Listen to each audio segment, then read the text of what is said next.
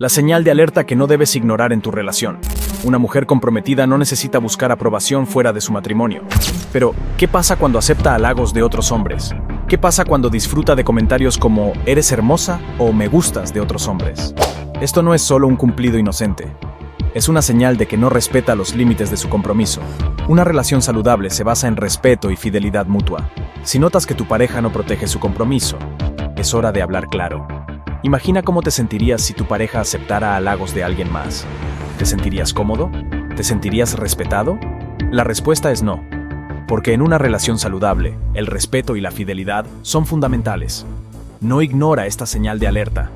Habla con tu pareja sobre tus sentimientos y preocupaciones.